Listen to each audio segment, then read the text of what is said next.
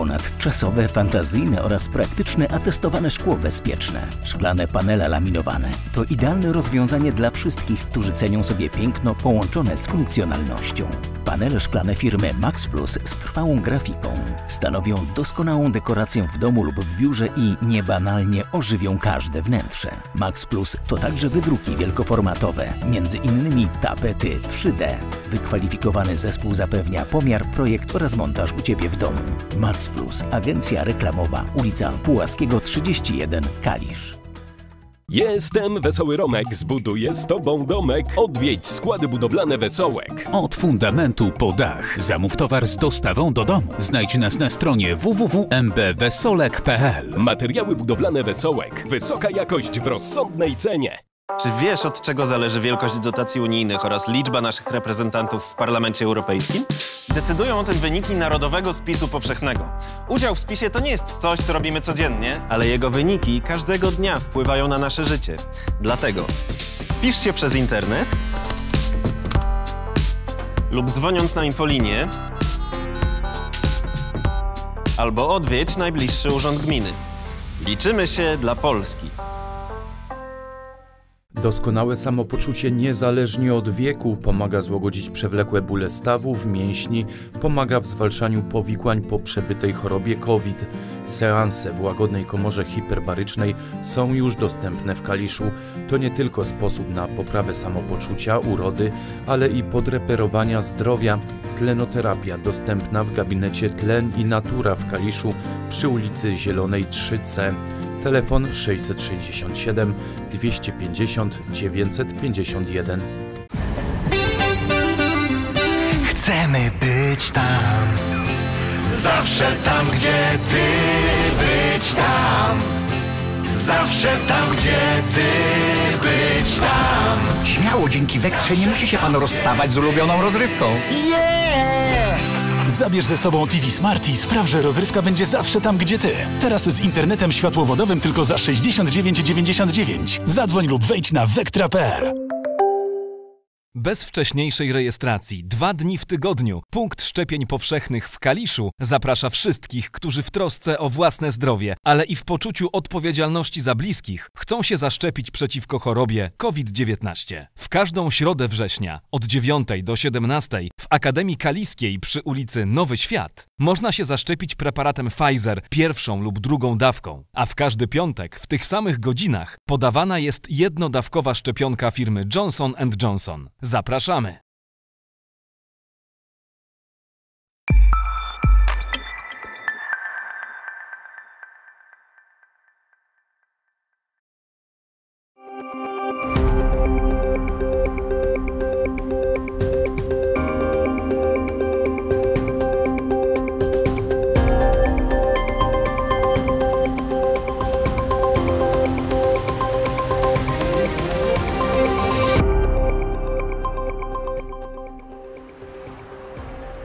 Agnieszka Walczak, dzień dobry, zapraszam na magazyn miejski. Sprawdźmy, co dziś w programie. Nowa wizja Nabrzeży Prosny, powstaną schody prowadzące do rzeki. Wszystko robimy po to, żeby, e, żeby aktywizować jakby to, co się dzieje e, na rzece. Ze wschodu na zachód przemierzają Polskę, by zachęcić do wsparcia leczenia chorej nastolatki. Kinga ma 14 lat, jest mieszkanką gminy Szadek w województwie łódzkim e, i mimo tego, że ma 14 lat, przeszła już 14 operacji. Bardzo doświadczona przez los. Poznajcie Annę. Kaliszanie z bohaterką jednej z miejskich legend pobiją rekord w graniu na dzwonkach. Każdy może do nas przyjść, przynieść swój dzwonek i razem z nami e, podzwonić. A zaczynamy od informacji z ostatniej chwili i to informacji bardzo smutnej. Zmarł Bronisław Krakus, kolarz i propagator tej dyscypliny sportu, pomysłodawca zbiórek zamkniętych w szkołach miasta i powiatu na rzecz WOŚP oraz organizator rowerowej wyprawy z Kalisza do Warszawy w dniu finału i wielkoorkiestrowej sztafety na Woodstock. Zamiast grzybów znaleźli zwłoki. Makabrycznego odkrycia dokonano w gminie Mycielin. Szczątki najprawdopodobniej mężczyzny zabezpieczono do sekcji zwłok. Badania mają ustalić przyczynę śmierci i być może tożsamość znalezionej osoby.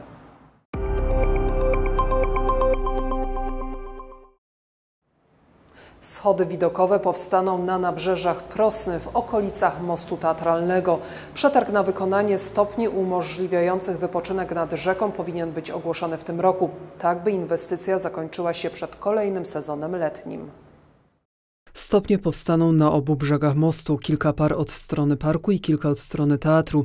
Będą służyły osobom, które lubią posiedzieć nad wodą.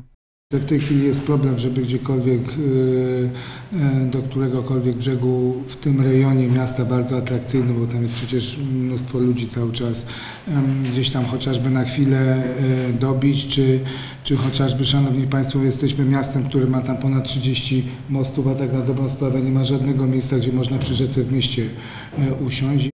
Chcieliśmy zrobić to w trochę większym zakresie. Pani konserwator tutaj miała inne zdanie, dlatego tych stopni jest powiedzmy mniej, one są bardziej takie rozdzielone właśnie tą zielenią. E, także my tutaj cały czas rozmawiamy mm, ze wszystkimi, którzy w tym zakresie powinni się wypowiedzieć. Wstępna wizualizacja z wyznaczonymi miejscami, gdzie schody prowadzące do wody będą usytuowane już jest. Szczegółową wizję zmian brzegów w tym miejscu przedstawi projektant wyłoniony w przetargu. Ten zostanie ogłoszony jeszcze w tym roku, a prace powinny ruszyć w przyszłym, tak by następnego lata można już było z tego miejsca odpoczynku korzystać. Budowa schodów to element dodany do projektu rewitalizacji Parku Miejskiego. W ramach powstałego wiele lat temu pomysłu remontowane są alejki w Zieleńcu, dlatego przy okazji prac na nadbrzeżu będą odnowione dwie kolejne oraz plac przy restauracji. Bardzo skromny, ale o wielkim sercu i ogromnym samozaparciu. W towarzystwie kota przemierza setki kilometrów, by pomóc 14-letniej Kindze. Wierzy, że jego marsz pomoże nastolatce walczącej z artrogrypozą, wrodzoną sztywnością stawów. To nie pierwsza taka podróż i z pewnością nie ostatnia. Poznajcie Jacka Balceraka, który idąc ze wschodu na zachód naszego kraju zawitał w okolice Kalisza.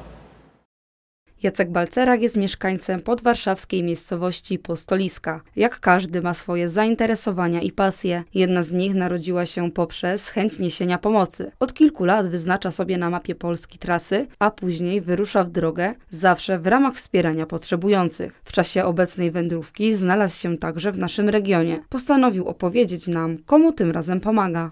Kinga ma 14 lat, jest mieszkanką gminy Szadek w województwie łódzkim e, i mimo tego, że ma 14 lat, przeszła już 14 operacji. E, bardzo doświadczona przez los. Urodziła się z chorobą, która nazywa się artogrypoza. To jest taka wrodzona sztywność stawów, nie pozwalająca jej stawać, zginać e, kolan. I cały czas miała wyprostowane te nogi. Od siedzącego trybu życia weszła kamienica nerkowa, problemy z, z kręgosłupem, więc to życie pasmo bólu, gdzieś tam było pasmem bólu. Naturalnym takim trochę było, że jak już zaczęliśmy pomagać pomagać jej, no to chcemy do końca jej pomóc. No i stąd ta moja droga, stąd ta opowieść właśnie o Kindze, o, o tej jej chorobie, e, no i chęć zainteresowania Państwa, no bo, bo dzięki temu, że, że, że Państwo wiecie o niej, jest szansa, że ta dziewczyna już będzie mogła oglądać ten świat swój e, z perspektywy nie takiego wózka z metra, tylko ze swojego pełnego wzrostu. No i poszedł, i to dosłownie, bo na własnych nogach i bez balansu codzienności. Ciekawa jest jednak trasa, którą sobie wyznaczył. Tą trasę wytyczyli e, dwaj e, sąsiedzi Kingi. Oni tą trasę przyjechali w ubiegłym roku na rowerach w 48 godzin, więc ja poszedłem troszeczkę im, ich, tras, ich trasą, ale wcześniej miałem przejście Polski z północy na południe, z miejscowości Przemyśl do Świnoujścia. W ubiegłym roku z kotem przyszliśmy dla Darii i dla Justyny, więc teraz takim naturalnym e, skojarzeniem było przejście ze wschodu na zachód, aby gdzieś tam ten krzyż Polski domknąć. Droga nieprzypadkowa. Pan Jacek chce dotrzeć do wielu osób na trasie ale nie idzie sam. Towarzyszy mu kompan, który co prawda podczas przemierzania kolejnych kilometrów za wiele się nie odzywa, ale za to wiernie wspiera i sprawia, że podróż jest ciekawsza. Ja się łapię na tym, że mówię do wszystkich, my idziemy, my idziemy i ludzie się rozglądają, z kim ja idę. Yy, tak, kot jest, kot jest ze mną, kot to jest taki mój przyjaciel, którego dostałem właśnie od Kingi, dla której ta, ta moja obecna trasa jest. Yy, pierwszego dnia już na tyle się zaprzyjaźniliśmy, że wszedł mi do kaptura i właściwie od półtora roku już nie odstępuje ode mnie na krok.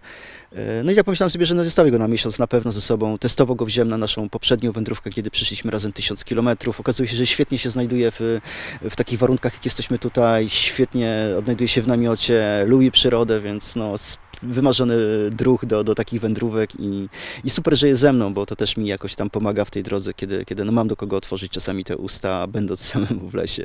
Zwierzę zostało podarowane panu Jackowi właśnie przez Kingę. Od tej pory stali się nierozłączni. Od tego czasu udało się uzbierać fundusze na jedną operację. Schorzenie jednak jest dużo poważniejsze i trwa walka o odzyskanie pełni sił i zdrowia. Największym marzeniem dziewczynki jest móc odebrać szkolne świadectwo o własnych siłach, własnych nogach, bez pomocy ortez czy chodzika. Wierzymy, że cel zostanie osiągnięty, a panu Jackowi życzymy braku nieprzyjemnych niespodzianek na dalszej trasie. Więcej informacji o działaniach pana Jacka i chorej Kindze odnaleźć można na stronie nowyświat.ck na Facebooku.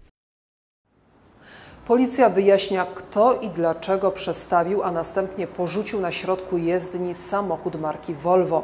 Warto dodać, że nie był to właściciel. Do tego niecodziennego zdarzenia doszło w piątkowy wieczór w Kaliszu. Przy okazji tej operacji pojazd został poważnie uszkodzony. O stojącym na środku drogi aucie policję powiadomiono 10 września wieczorem. Volvo znajdowało się na skrzyżowaniu ulicy Kościuszki i Chopina, stwarzając poważne zagrożenie w ruchu. Policjanci, którzy pojechali na miejsce, ustalili, że pojazd marki Volvo został odholowany z jednej z posesji przy ulicy Kościuszki na środek skrzyżowania ulicy Kościuszki z ulicą Chopina. Policjanci ustalają, kto jest właścicielem pojazdu i kto odholował pojazd na środek skrzyżowania. W dodatku podczas tej operacji auto zostało poważnie uszkodzone, miało obdarte oba boki, uszkodzony zderzak i inne elementy. Jak na jedenastolatkę jest niezwykle dojrzałą emocjonalnie i wiedzącą, czego chce dziewczynką. Vanessa Kujawiak urodziła się w Międzynarodowy Dzień Tańca i taniec prowadzi ją przez całe życie. To jej wielka pasja, a teraz przed nią wielka szansa na sukces. Kaliszankę zobaczymy w nowym tanecznym show telewizji polskiej You Can Dance – Nowa Generacja.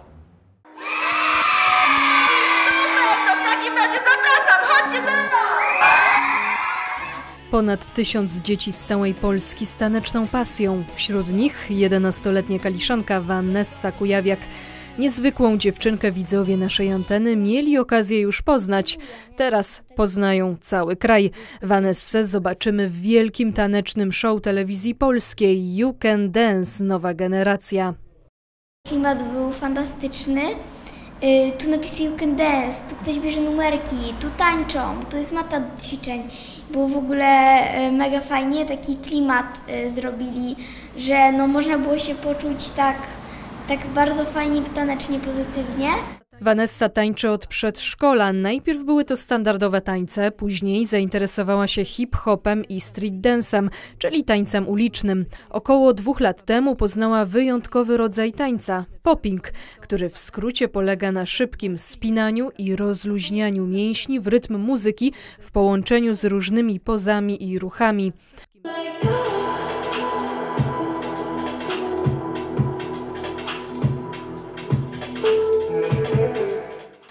Większość jej startów w konkursach kończy się medalami i pucharami, dlatego gdy usłyszała o castingu do You Can Dance dedykowanemu dzieciom, nie wahała się ani chwili. To treningi na żywo, a nie też online i będę tam tańczyła z najlepszymi, poznam mega znajomości, no mega rozwój generalnie. Dlatego też głównie się zgłosiłam. Decyzja była oczywista. Rodzice Vanessy, a zwłaszcza tata, mocno angażują się w rozwój jej talentu. Gdy specjaliści jednoznacznie dali mu do zrozumienia, że Vanessa ma wielki taneczny talent, postawił wszystko na jedną kartę. Zrezygnował z pracy i w pełni poświęcił się wsparciu córki. Wiara to jest podstawa, wiara. Wierzyć w siebie, wierzyć w Boga, wierzyć w marzenia i je realizować bez względu na wszystko. Jak już nam się wydaje, że no jest tak beznadziejna sytuacja i też nam się tylko wydaje, to jest nasz racjonalizm, a nam się wydaje, że nie, to już jest koniec świata, to nie wyszło, to, to, to, to, to. Nie, wiara. To, to właśnie wtedy trzeba jak najbardziej wierzyć i wtedy wszystko spada po kolei do nas. Vanessa i jej rodzina mają też drugą pasję, a właściwie misję pomagania innym. Dziewczynka zaangażowała się bardzo we wsparcie małej Sandry cierpiącej na SMA1, a tata Vanessy ma już pomysł, jak dalej wykorzystać talent córki do niesienia dobra. Ten pomysł ma już jasno określoną koncepcję i nazwę. To hybryda Vanessy Power. To będzie innowacyjny obiekt z 15 kierunkami, które będą pomagać takim dzieciom jak Vanessa, bo takich jest mnóstwo, czyli mają talent, rodzice nie wiedzą co zrobić, nie mają pieniędzy, e, potrzebują pomocy, zgłaszają się do hybrydy i hybryda jest w stanie im dać wszystko, co oni tylko potrzebują. Projekt może współtworzyć każdy z Was. Trwa zbiórka funduszy na jego pierwszy etap. Szczegóły znajdziecie na stronie facebookowej Vanessa Power Kujawiak. Będzie to zatem trampolina do rozwoju i szczęśliwego życia z pasją. Podobnie jak trampoliną do przyszłej kariery jest program You Can Dance. Vanessa doskonale wie, że na sukces składa się nie tylko talent, ale i ciężka praca. Treningi są w sumie jedną z takich rzeczy, bez której nie osiągniesz tego, co chcesz. Trzeba trenować, no bo jakby człowiek sobie siedział, po prostu myślał, no to można obmyślić jakiś plan, ale no trzeba trenować, no bo to jest coś, co jest, to jest sama droga do sukcesu, same cegiełki następne. E, trening bardzo dużo pomaga generalnie. E, ja na przykład trenuję po parę godzin dziennie. Jest to ciężki trening, ale jak już się potrenuje, to jest się z siebie takim zadowolonym, taki, takim zrobiłem to, poćwiczyłem i na drugi dzień będzie jeszcze lepiej i drugi raz potrenuję i trzeci i czwarty i będzie fajnie. Czy Vanessie uda się przejść casting do You Can Dance? Odcinek z udziałem Vanessy w najbliższy piątek 17 września o 20 na antenie TVP2. Za Vanessę oczywiście będziemy trzymać kciuki i informować o kolejnych sukcesach w tym programie, miejmy nadzieję. A teraz przenosimy się do Filharmonii Kaliskiej, która rozpoczyna sezon 2021-2022. Muzyków poprowadzi maestro Ruben Silva. Nowy dyrektor na otwarcie koncertu wybrał utwory Przeznaczenie Giuseppe Verdiego, bo jak twierdzi, ono sprowadziło go do Kalisza. Wieczór dopełni trzecia symfonia Ludwika van Beethovena, którą nowy dyrektor dedykuje wszystkim ofiarom pandemii. Będzie też gość specjalny, a koncert w najbliższy piątek o godzinie 19.30 w sali koncertowej przy Nowym Świecie. Uwertura Verdiego La Forza del Destino, czyli e, Moce Przeznaczenia.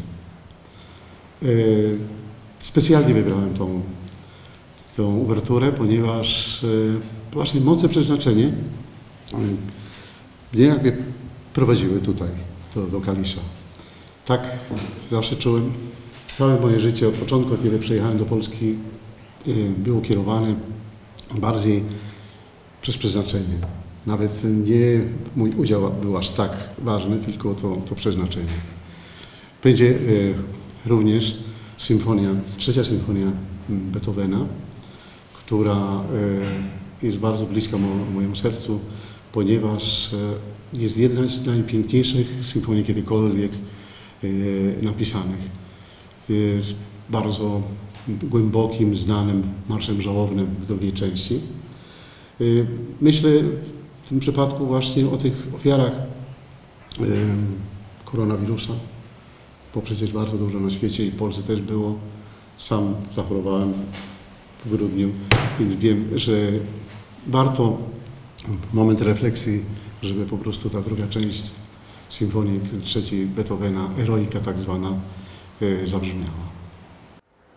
I zostajemy przy muzyce. Tym razem wprost z kaliskiej legendy o Annie. Jak głosi opowieść, dzwony w kaliskich kościołach swój niepowtarzalny dźwięk zawdzięczają właśnie dwórce Bolesława Pobożnego. Jeśli chcecie dowiedzieć się dlaczego, powinniście w sobotę zajrzeć do Centrum Baśni i Legend, gdzie w ramach Europejskich Dni Dziedzictwa będzie można bliżej poznać bohaterkę dnia i wziąć udział w biciu rekordu Guinnessa. Dorotkę znają chyba wszyscy, ale bohaterek kaliskich legend jest więcej. Dlatego w ramach Europejskich Dni Dziedzictwa rusza cykl przybliżający inne postacie, których historię zebrał Eligiusz Korwalczak. Sobota będzie poświęcona głównej bohaterce z opowieści Ręce Anny. Wśród licznych dworek szczególnie jedna o imieniu Anna wyróżniała się zarówno urodą, jak i talentem do prac ręcznych. Anna tkała i przędła niezwykle małymi i zręcznymi dłońmi przepiękne materiały słynne na całe księstwo. Symbolem zdolnej dwórki są dzwony. Dlaczego? Dowiecie się w czasie biesiady kończącej Europejskie Dni Dziedzictwa, których będą motywem przewodnim. I ten dzwon, dzwoneczek w każdej postaci będzie takim motywem przewodnim całej tej naszej e, imprezy. E, I e, będzie można w związku z tym dzwonkiem tutaj wiele aktywności podjąć, począwszy od tego, że w dzwonnicy Sanktuarium Świętego Józefa będzie można obejrzeć wystawę dzwonków. Organizujemy warsztaty plastyczne dla dzieci inspirowane tą, tą legendą. Każdy, kto przyjdzie ze swoim dzwonkiem, będzie też mógł za darmo zwiedzić Centrum Baśni i Legend oraz lokacji miasta. Jednak to nie wszystko. Punkt kulminacyjny zaplanowano na 17. Podejmiemy się próby bicia rekordu Guinnessa, koncert na 500 dzwonków, czyli zapraszamy tego dnia wszystkich, którzy chcą razem z nami tutaj podjąć się tego wyzwania. Każdy może do nas przyjść, przynieść swój dzwonek i razem z nami e, podzwonić, tak, dyrygowany przez, przez Annę. W trakcie wydarzenia, które rozpocznie się o 14, będzie można zobaczyć występy zespołu Kalisja, który zaprezentuje średniowieczne tańce. Stacja Inspiracja zabierze w świat dawnych zabaw, a Bractwo Rycerskie pokaże pojedynki na miecze i pasowanie na wojownika. Wszystko zakończy się około 19.30. Po raz pierwszy w historii szczypiorniści Energa MKS Kalisz wygrali z Azotami Puławy. W niedzielę podopieczni Tomasza Strząbały pokonali na wyjeździe brązowych medalistów z zeszłego sezonu 29 do 27. To ich pierwsze zwycięstwo w nowym sezonie PGNiG Superligi. Wysoką dyspozycję Kaliszanie zasygnalizowali już w zeszłą środę w Zabrzu, ale do wywiezienia punktów z inauguracyjnego meczu zabrakło im wtedy szczęścia. Tym razem mogli cieszyć się ze zwycięstwa i to z przeciwnikiem, z którym do tej pory zupełnie sobie nie radzili. Po serii dziewięciu kolejnych porażek w niedzielę Kaliszanie po raz pierwszy w historii pokonali ekipę Azotów Puławy i to na jej parkiecie. Myślę, że był to mecz walki z naszej strony i ze strony Puław. Yy, do końca ważyły się jego losy. No cieszę się, że na koniec to my jesteśmy drużyną zwycięską. Gratuluję Puławom świetnej postawy. Tutaj zawsze, od kiedy pamiętam, zawsze ciężko się grało i są to dla nas bardzo ważne punkty. Początek potyczki nie zapowiadał historycznego wydarzenia. Puławianie z utytułowanym Michałem Jureckim w składzie szybko odskoczyli na 8 do 1 i wydawało się, że mają pełną kontrolę nad przebiegiem gry. Na szczęście przyjezdni poprawili skuteczność i jeszcze przed kwadransem tracili do gospodarzy tylko dwa gole, a na półmetku przegrywali 14 do 17. Nerwowo weszliśmy w ten mecz, e, daliśmy się nakręcić i z wyniku 8-1 właściwie można powiedzieć dopiero zaczęliśmy grać e, spokojnie i konsekwentnie i odrabialiśmy straty, a wiedzieliśmy, że kiedy się zbliżymy do zespołu Azotów Puławy, to wtedy wiadomo, że to faworyt i że ciąży na nich presja i że trochę ręce zadrżą i to jest nasza szansa. No i tak też się stało w tym meczu. 6 minut po przerwie był remis po 17, a końcowe fragmenty były już popisem w wykonaniu Kaliszan. Jeszcze w 56 minucie przegrywali oni 25 do 26, ale już dwie minuty później objęli prowadzenie 27 do 26, którego nie oddali do finałowej Syreny. Ostatecznie wygrali 29 do 27, w czym spora zasługa Łukasza Zakrety, który bronił rzuty rywali ze skutecznością 34%. Byliśmy bardzo dobrze przygotowani i naprawdę chwała zespołowi, że podnieśliśmy się z tego początku, bo naprawdę początek był niemrawy, ale podnieśliśmy głowy i pokazaliśmy charakter do samego końca. Po dwóch wyjazdowych starciach kolejne kaliski zespół rozegra już przed własną publicznością. W niedzielę 19 września podejmie w hali Arena ekipę Chrobrego Głogów. Początek tego meczu zaplanowano na godzinę 13.15. A kolejny mecz, pierwszy w tym sezonie na własnym boisku w niedzielę. Kaliszanie zmierzą się z Chrobrym Głogów. Początek o 13.15. Jeszcze przez chwilę będzie ciepło i słonecznie, chociaż według przewidywań najbliższe godziny mają przynieść zmiany. Będzie trochę chłodniej, może popadać, więc będzie też mniej słońca, ale podobno tylko w czwartek. Później ponownie pojawi się na niebie. W środę wieczorem ciepło, na termometrach 18 stopni na plusie, zawieje słaby wiatr. W nocy podobnie, temperatura spadnie do 15 stopni. W czwartek na niebie przewaga chmur, lokalnie będzie padał deszcz. Na słupkach rtęci 18 kresek powyżej zera. Wzmocni się siła wiatru, a porywy osiągną prędkość do 30 km na godzinę. Noc pochmurna na termometrach 14 stopni Celsjusza. Uspokoi się wiatr, a ciśnienie zacznie spadać. W piątek od samego rana niebo prawie całe w chmurach o 7.14 stopni na plusie. W ciągu dnia temperatura wzrośnie do 18 stopni Celsjusza. Za chmur wyjdzie nieco słońca. Po południu będzie padał deszcz. Pochmurny i lekko deszczowy dzień warto spędzić zgłębiając sekrety przeszłości Kalisza, a te najlepiej zna Władysław Kościelniak, którego opowieści o naszym mieście w czwartek o 17.15. Kolejny magazyn miejski w piątek, a wszystkie wydania na kanale YouTube. Oczywiście przez cały czas informacje znajdziecie też na portalu faktykaliskie.pl. Dziękuję za uwagę. Do zobaczenia.